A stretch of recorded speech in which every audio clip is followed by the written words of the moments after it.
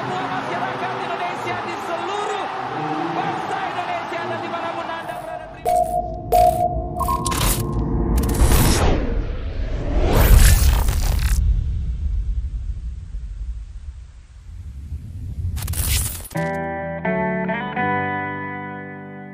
Terima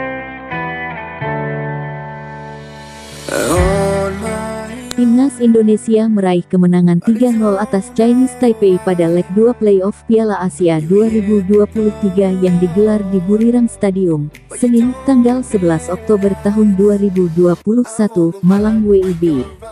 Kemenangan ini membuka jalan skuad Garuda ke kualifikasi Piala Asia 2023.